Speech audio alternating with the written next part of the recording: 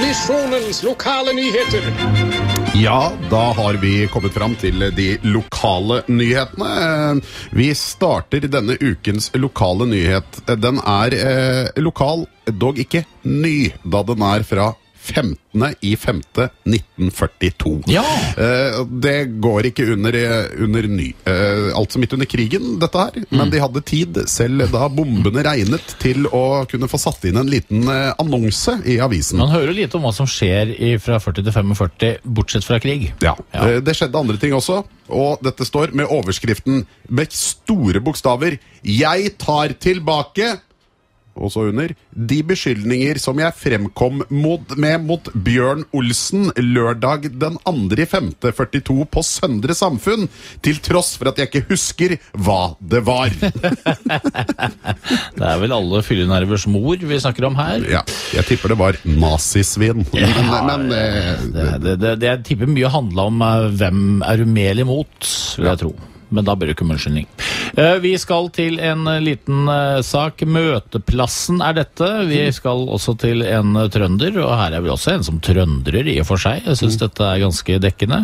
En, en koselig liten sak. Trønder 62 søker kontakt med kjerring. Tykk, tynn eller flat som ei fjøl spiller ingen rolle. Er 1,78 cent, cent, sam- centimeter, er det mulig da? 73 kilo, litt skjeggete. Ryker og drikker ikke. Kaller det å ryke, altså. Allsidige interesser. Må svar da for svingende. Må slutt å sitte og klø deg i hodet. Og husk, det er det indre som er det viktigste. Her har vi en som tar høyde for at sånn fruktfatmessig så har han ikke levert på aller høyeste nivå selv. Her handler det om å få seg noe. Og det fort. Ja. Han holder på å eksplodere. Samme hva det er, bare det puster. Det er helt riktig. Ja. Vi skal videre til Lofotposten, som eh, åpenbart hadde veldig lite å fylle eh, Lofottidene er det, beklager.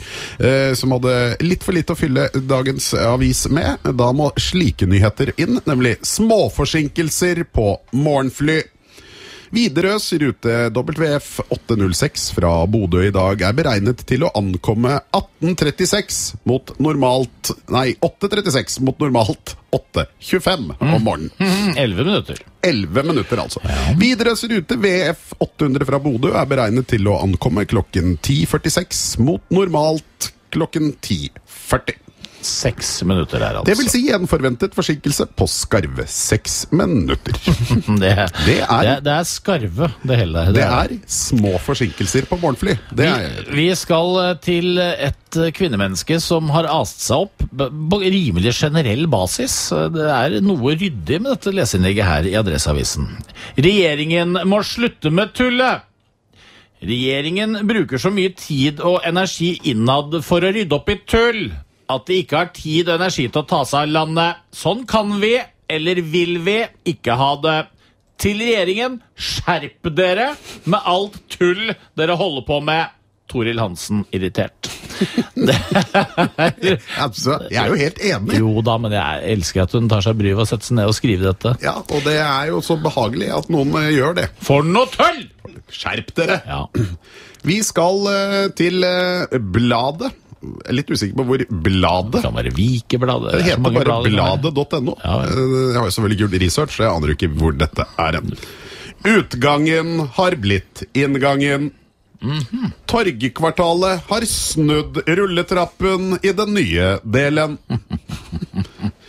Butikkleder på Nava Sport kommer nå inn i butikken der kundene tidligere gikk ut. Oi. Vi tror at dette skal bli bedre for oss og kundene, sier Kristiansen. Rulletrappene ble snudd for et par uker siden. Butikken ble bygd opp for at kundene skulle komme inn den andre siden av sportsbutikken, men det ser Kristiansen lyst på. Vi tror at dette er et riktig grep. Den delen av senteret er helt ny, og vi har ikke sammenlignbare tall, men håper og tror at dette blir positivt for butikken, sier Kristiansen, som legger til at de må bruke den nye inngangen en stund før de får ordentlig måling på hvordan dette slår ut. Måling? Altså at de har snudd Men skal det ha måling på om folk merker det, eller om de bare løper opp en trapp som går ned? Bedre flyt. Oi. Senterleder Geir Veie forteller at de har snudd rulletrappene for å få bedre bevegelse i senteret. Rulletrappene er snubare. Vi har målinger på alle dører og sett hvordan inngangene blir brukt. De fleste kundene bruker inngangen ved Sabrura og Mega. Etter en prøvedrift fant vi ut at for å få best mulig bevegelse i senteret, var det altså best å snu rulletrappene. Vi Så fant de ut at har dette ikke engang snudd det. Det er bare farta. De har bare, de har bare skrudd det, de, imot. Ja. Altså, de har ikke, de, dette var billig. Altså, de har bare spurt den andre veien. Det blir mer enn at Altså, dette her hører Du hører jo Dette har ikke kosta mye penger.